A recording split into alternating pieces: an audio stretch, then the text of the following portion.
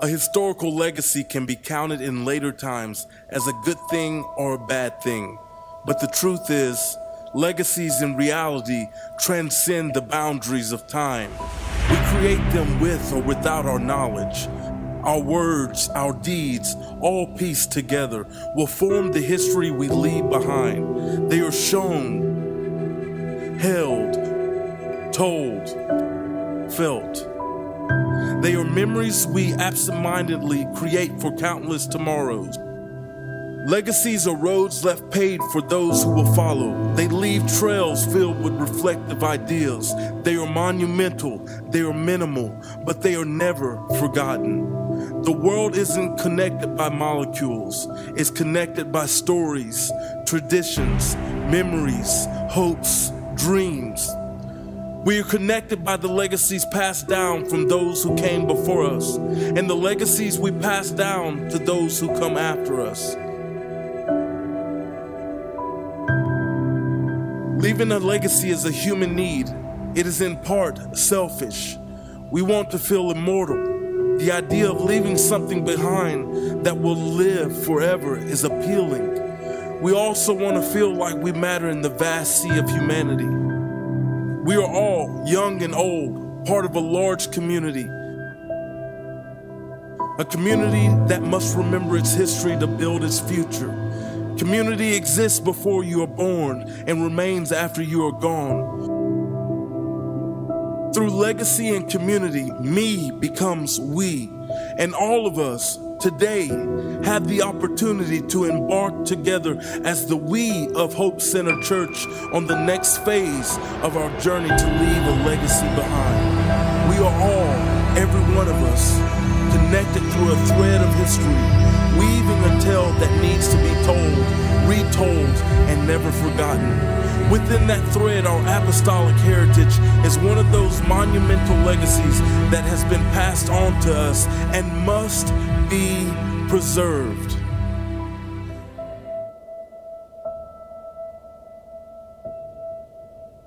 In looking back on that thread, that heritage, we see the day of Pentecost, a legacy created and passed on to us. The early church was born of the water and of the Spirit and offered its incredible legacy of grace and freedom to whosoever will. And when the day of Pentecost was fully come, they were all with one accord in one place. And suddenly there came a sound from heaven as of a rushing mighty wind, and it filled all the house where they were sitting. And there appeared unto them cloven tongues like as of fire, and it sat upon each of them, and they were all filled with the Holy Ghost, and began to speak with other tongues as the Spirit gave them utterance.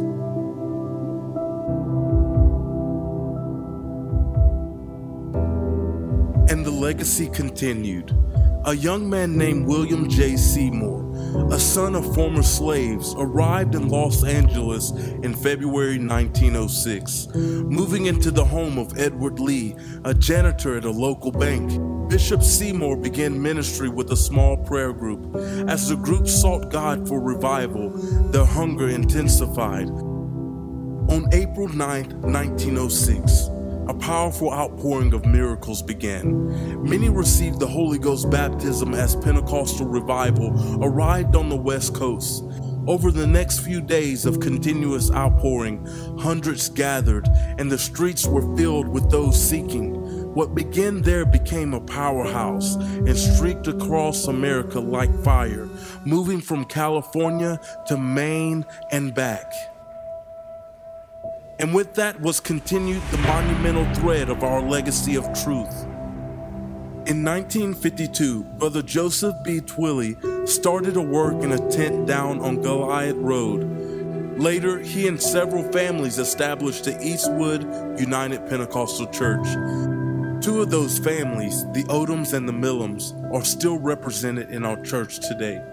The pastorate of the church went to Brother Bill DeReese in 1966. In 1974, the church was moved to 209 Lemonwood Drive and became Castle Hill United Pentecostal Church. Brother Mike Chance became the pastor of Castle Hill UPC in 1983, and the congregation continued to grow. Outgrowing the building on Lemonwood Drive, the church built the present facility in 2000, moving in on Easter of that year, and it became House of Prayer Evangelism Center. In 2009, our present pastor and his family arrived on the scene.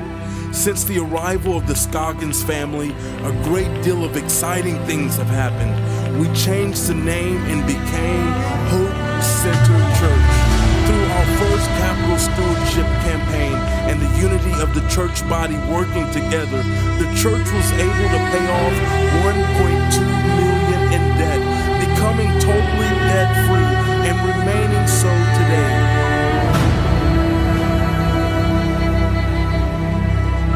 It's happening. It's happening.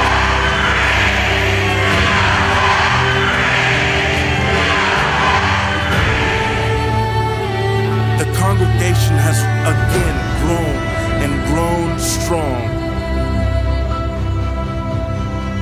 That growth has once again created the need for new facilities. We've been looking forward to this part of our journey for a long time.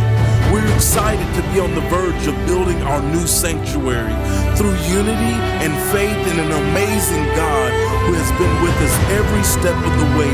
We believe that without a doubt, great times and great growth are ahead for the congregation of Hope Center Church.